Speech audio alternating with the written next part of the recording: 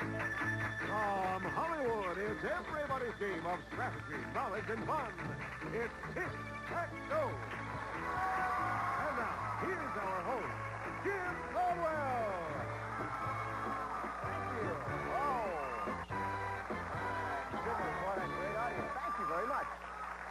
Appreciate that. Welcome to the studio audience and to you at home. Thanks for joining us for another edition of Tic-Tac-Dough. Now, we're right dead smack in the middle of a game between two solid players.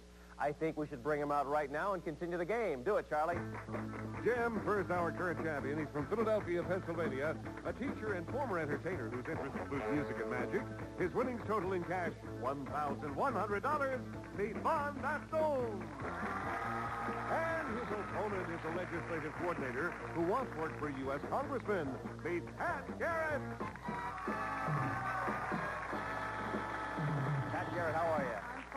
I'm fine. How are you? Nice, firm handshake. Did you develop that working with in the political campaigns and You stuff? You need to learn to press the flash. You worked for a congressman. What is that all about? Well, I worked for a congressman for about three years. I worked in the district office doing constituent services, which basically means when somebody tells you if you don't like it, call your congressman, Yeah. there has to be somebody there to really help you out and, And try you- and straighten out your problems. You did that. Any political aspirations of your own? Well, I kind of have had a lifelong dream. What is that? Well, since I was a little kid, I always kind of thought maybe U.S. Senator from the state Really? of California. Really? Well, good luck in those aspirations. Thank you. And good luck here in the game as Thank we you. pick it up and continue. Von, welcome back. Hey, I have a tie just like that. You do? Well, we have good taste, don't we? Hey, let's uh, get off of ourselves, and I want to ask you something. You do magic. Yes, I do a little magic. Uh, I've been doing magic since I was about this high, and I'm about this high.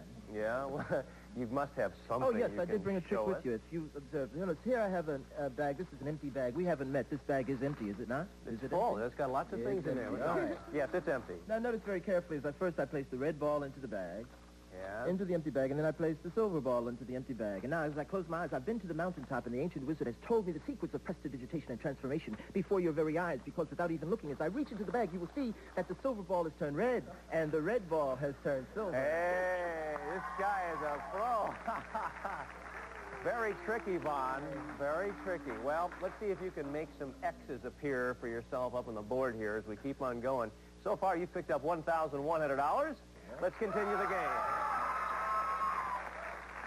What a trick. Von Baston and Pat Garrett are the players. Now, let's get to it here. Let's check out the nine categories you both were playing with when we broke off last time.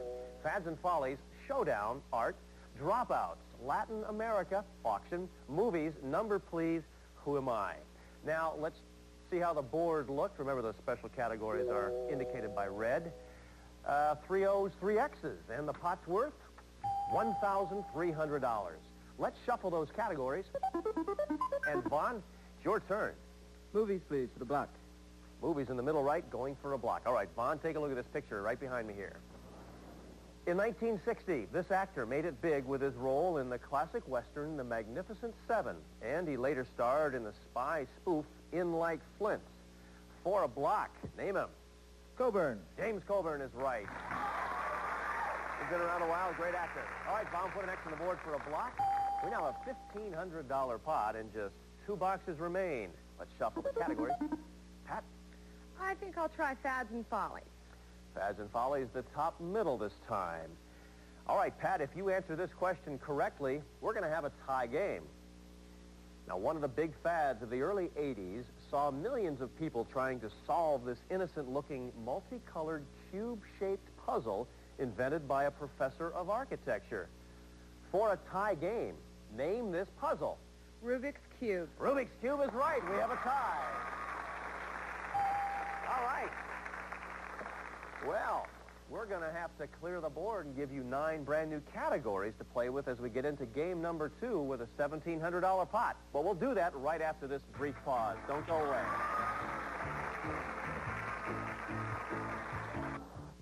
Welcome back. Our champion and Pat, his challenger, just successfully tied a game, so we now have a very large pot. Von, Pat, you ready for game number two? Absolutely. Okay, 1700 bucks in the pot. Here are the nine categories. Scary things, three to win, heroes, villains, general science, top this, maps of nations, opponent's choice, and musicals. Remember Red boxes, special categories? We're starting off game number two. Von, do the honors. Uh, general science, please. Center box. You'll have some extra time. Von, a flowering plant lures honeybee. A flowering plant lures honeybees with bright colors and this sweet liquid, which the bees turn into honey. In return, the bees spread the powder necessary for the flowers to reproduce. Number one, name the sweet liquid produced by flowers. And two, name that fine powder bees carry from flower to flower. Here's your extra time.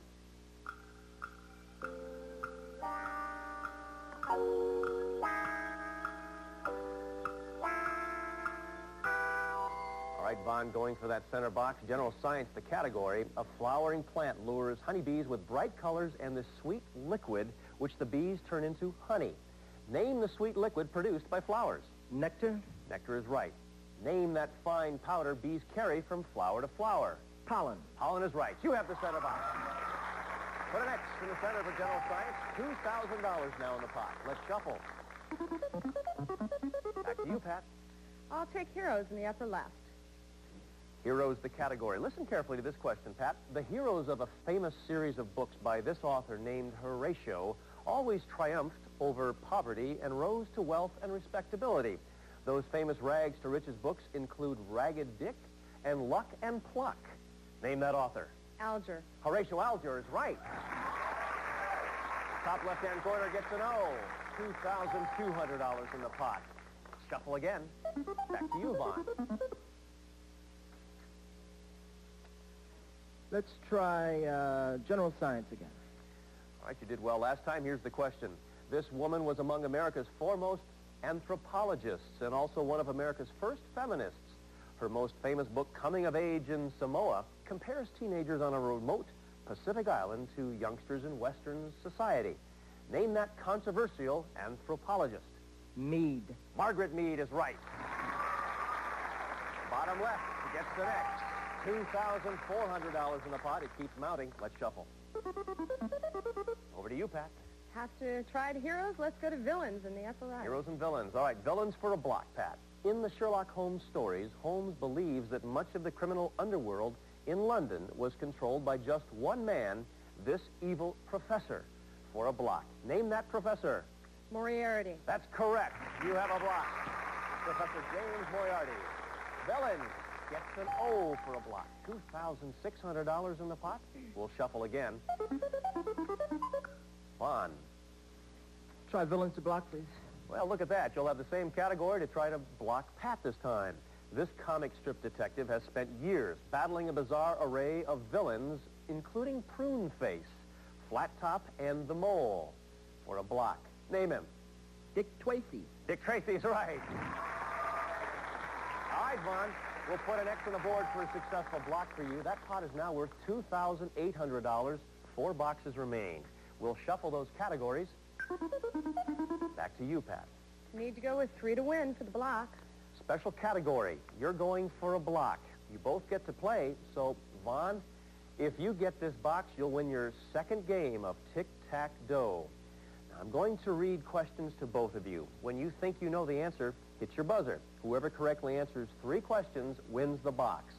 The subject this time, Frank Sinatra. I see that your hands are poised on the buzzers. Number one. In 1967, Sinatra had a number one hit with the song Something Stupid, a duet sung with his daughter. Give me her first name. Von? Nancy. Nancy is right. You have one. In 1953, Sinatra rejuvenated his career when he won an Oscar for his role in this world... Von. From here to eternity. From Here to Eternity is the name of the movie in which he won that Oscar. Good for you. You now have two. One more correct answer, Von. You'll win the game. In 1966, Sinatra married for the third time. He married a young actress who's... Von for Tic-Tac-Dough. Mia Farrow. She was his third wife. That's right.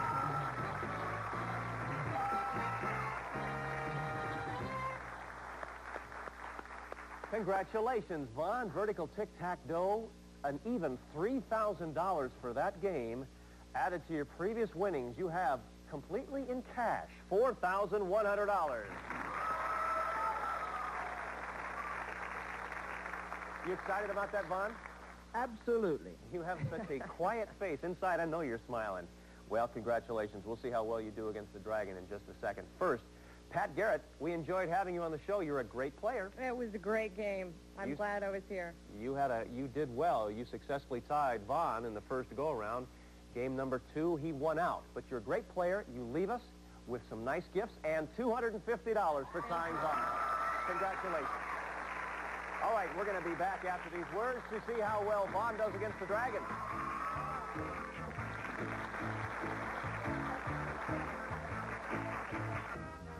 Again, here's Jim. Thanks very much, Charlie. Well, Von Baston just, uh, well, you had a tough opponent there, didn't you, Von? Absolutely. It's very fortunate. You played very well. Now it's time to see if you can face the dragon successfully. You ready? Let's do it. All right. You've done this before? Yeah. Yeah, all right. You know, behind these numbers are various amounts of money. There is a tick, attack, and... the dragon. You want to get the tick and the tack or reach $1,000 or more, and Charlie's about to tell you what you'll win. Charlie, what is it? Well, Von, these gifts will help you enjoy the outdoors as never before. First, Von, for backyard barbecues, you'll use this terrific gas grill. Make your outdoor cooking a no-fuss pleasure. Sizzling steaks and juicy burgers are a snap on this gas barbecue grill, recommended by Chef Tell from the Hardwick Stove Company. Then for camping trips, you'll have these rugged camping tents. Selected with a $300 gift certificate from JT's General Store. Select from fashions, housewares, and much more in the JT's General Store Spring 1986 in-home shopping catalog. Next, you'll watch for birds in the daytime or stars at night through these powerful binoculars. Bausch & Lomb compact binoculars, one of the first names in sports optics. Waterproof, fog-proof, and center focus enables you to get closer to the action from Bushnell. And finally, Von, for a vacation where you'll want to be outdoors as much as possible, we're sending you to the balmy climate of idyllic Hawaii! Land of sugarcane, coconuts, exotic flowers, and breathtaking sunsets. You'll enjoy tropical sun, golden beaches, and fabulous entertainment when you answer this call to the islands. Some of Hawaii's most spectacular views are from Colony Resorts, Kanaloa at Kona. Elegant villas with full kitchens, wet bars, private lanais, ocean suites with jacuzzis, a world-class resort with swimming and tennis. This outdoor enjoyment package is worth in cash and prizes over $3,150. You like the sound of that? Aloha, aloha. We got a smile out of you when you heard about that trip to Hawaii. Yes, well, I am Hawaiian. You are. Oh, in my heart. In your heart. Okay, well, you want to get that tick in the tag. Remember, you, if you do that, you'll get the dough automatically. Got to beat the dragon. All right. You have, I think, someone in the audience going to help you, huh? Yes, my In- brother Pierre. Introduce him for us. There he is. My youngest brother Pierre. All right, Pierre, you ready to help him? What's first? Number two first. Number two. Let me think a lot. Von beat him to it. Number two got to 300. All right, what's next? Uh, number five. Number five, right below two. Tack. Moving right along. Nah, we'll try number six. All right, Von wants to try number six. 100. You need 600 more or tick. Keep it going. What's next? Nine. Number nine. All right. Let's check it out. What. Well, not aloha yet. Let's find out where the tick was and the rest of the money. Tick was right below the tack there, number eight. Well, still, you're up to cash now, $4,100. You ready to meet your next challenger? Yes. All right, think about that for just a moment. First, we'll take a break. We're coming right back.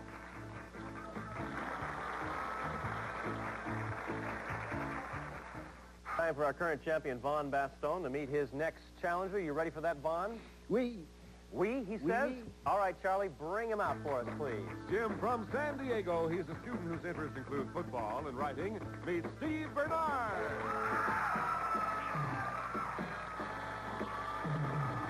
I think you're getting a rise from some of the women in our audience, Steve.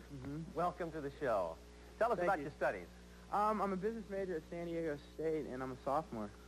From San Diego, does that mean uh, you watch our show on KTTY, Channel 69? As a matter of fact, it does, and that's how I uh, got on the show. I was I was noticed that the producers were going down, going to be in San Diego, and I won a contestant search, and I'm lucky enough to be here. Well, don't put your eyes, don't cast them down. Be proud. You did well. Yeah. I think it's great to see you here, Steve. I wish you the best of luck. We'll be rooting for you, as we'll be rooting for Von as well. You'll both be playing the game involving these nine categories. Here they are. Names the same. Take two. Opera. Country music. The UN. Trivia Dare, Mixed Words, Seesaw, and Sitcom, situation comedies. Von, as the champ, you get to start us off. Where do you want to go? I'll try the UN, please, in the middle. Center box? All right, I'll read you this question, Von. You'll have some extra time. I'll describe two important UN agencies that are known by their initials, and you name those agencies. Number one, the medical organization known by the initials WHO, and two, the financial organization known by the initials IMF. Here's your extra time.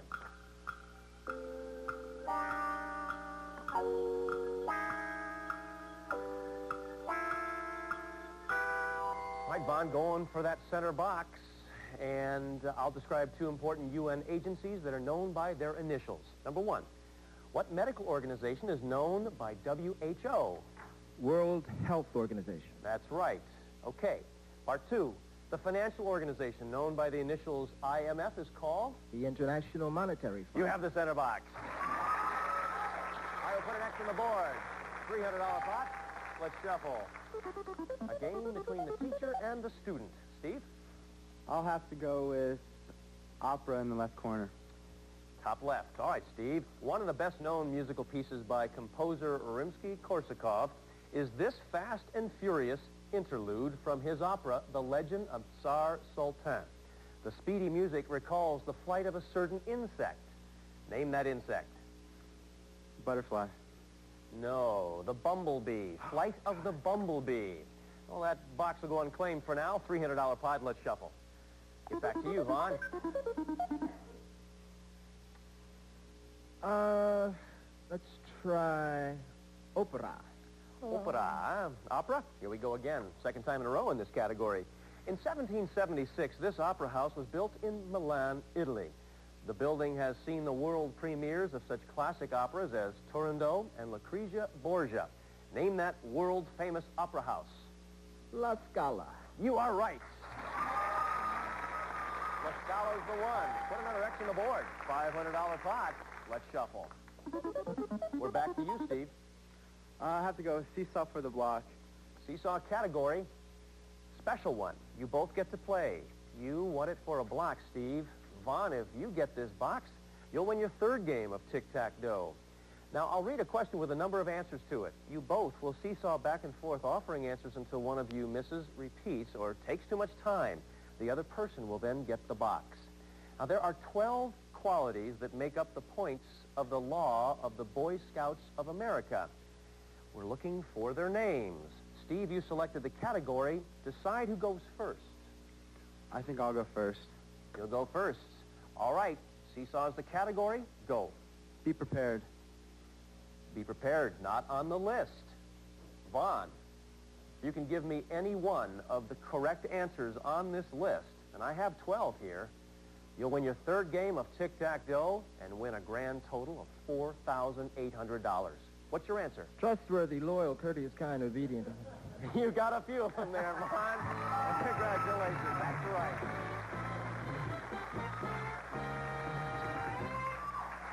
I should ask you to read to do the whole thing, Von. It's been a long while. Hey, I'm still a Boy Scout at heart. All right, horizontal tic-tac-toe for you, Von. $700 added to your previous winnings, $4,800. Before I go any further, I guess I might as well, let's, let's take a look at what this list really is. Brave, cheerful, clean, courteous, friendly, helpful, kind, loyal, obedient, reverent, thrifty, and trustworthy. Those are the 12 qualities of the Boy Scouts. All right, we now have an opportunity for you to play against the Dragon in just one moment, Von. But first, we have to say goodbye to Steve Bernard. Went kind of fast, Steve, but we liked having you on the show. Well, it was my pleasure. I'm uh, Give our regards to everybody down at KTTY in San Diego and hope you had a good time. It's a I nice will. gift for you, Steve. Good luck to you. We're going to come back and watch Von take on the Dragon right after this.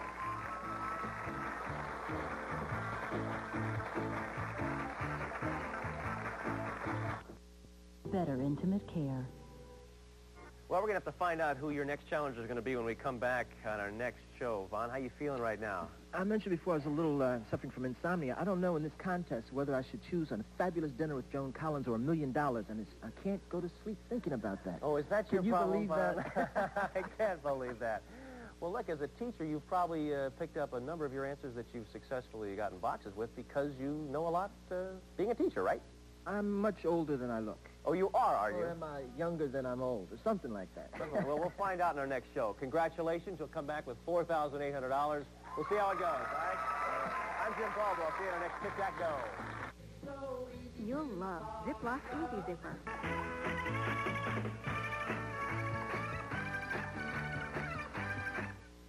The stakes are high, One mistake and Chris retains the championship. so it pays to go slow. Freeze right there. Play your cards right, and you might win the show. Lower than the queen. On Card Sharks, wild game, witty poetry. Next on Game Show Network.